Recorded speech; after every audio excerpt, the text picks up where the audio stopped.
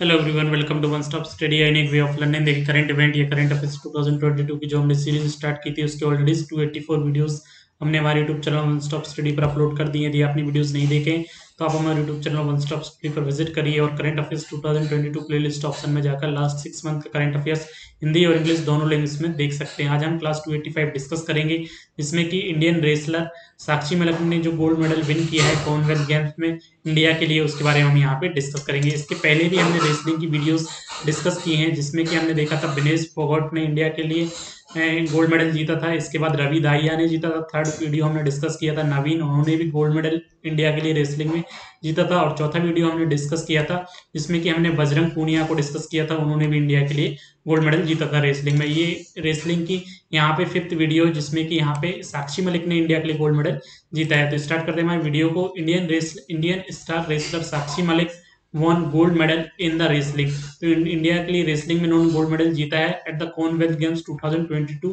जो कि आपके ब्रिटेन के बर्मिंगम में आयोजित किए गए थे। इन्होंने किसको हराकर यहाँ पे इंडिया के लिए गोल्ड मेडल जीता है?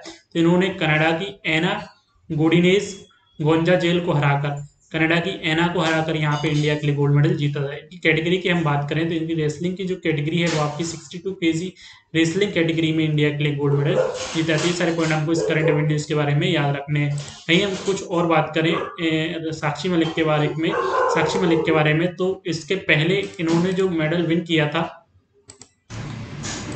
प्रीवियस अचीवमेंट की हम बात करें, साक्षी मलिक के तो इन्होंने रियो ओलंपिक जो आपके आयोजित हुए थे तो 2016 के रियो ओलंपिक में रेसलिंग में इन्होंने जो जीता था वो इंडिया के लिए ब्रॉन्ज मेडल जीता था। वहीं हम बात करें कॉमनवेल्थ गेम्स की तो इन्होंने कॉमनवेल्थ गेम्स में सिल्वर मेडल जीता था 2014 में आयोजित हुए थे, जो 2014 के जो आपके ग्लॉस्को में आयोजित हुए थे, वहाँ पे 58 केजी वेट कैटेगरी में इंडिया के लिए गोल्ड मेडल जीता था। वहीं 2018 के गोल्ड कोस्ट में आयोजित कॉमनवेल्थ गेम्स में 2018 के गोल्ड कोस्ट में आयोजित कॉमनवेल्थ गेम्स में 62 केजी कैटेगरी में इंडिया के लिए ब्रॉन्ज मेडल जीता था और रियो ओलंपिक में भी इन्होंने ब्रॉन्ज मेडल जीता था। कॉमनवेल्थ गेम्स में इंडिया कॉमनवेल्थ गेम्स में जो है इनका फ़र्स्ट गोल्ड मेडल है। इसके पहले इन्होंने सिल्वर और ब्रॉन्ज मेडल जीते हैं। तो ये सारे पॉइंट हमको इस करेंट न्यूज़ के बारे में याद रखने हैं।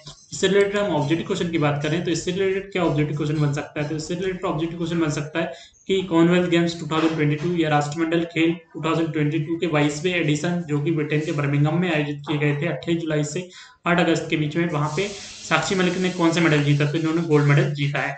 इसकी कैटेगरी भी याद रखनी है, इनकी जो वेट कैटेगरी थी वो आपकी 62 केजी वेट कैटेगरी रेसलिंग में इंडिया के लिए गोल्ड मेडल यहाँ पे जीता है। और उन्होंने जो डिफीट किया है, वो आपके कनाडा की कनाडा की एना गोडिनेज को गोंजा लेस को हराकर यहाँ पे इंडिया के लिए गोल्ड मेडल जीता था। ये मैक्सिमम पॉसिबल ऑब्जेक्टिव क्वेश्चन इस करंट रेवेन्यू से रिलेटेड बन सकते हैं, जिनको कि हमने यहाँ पे डिस्कस किया। यदि आपको वीडियो अच्छा लगा तो आप हमारे YouTube channel one stop study को वन स्टॉप स्टडी को सब्सक्राइब कर लीजिए, साथ में बेल आइकन को प्रेस कर लीजिए, जिससे कि जो वीडियो वीडियो लेगा आपको नोटिफिकेशन मिल जाएगा। Thanks for watching thank you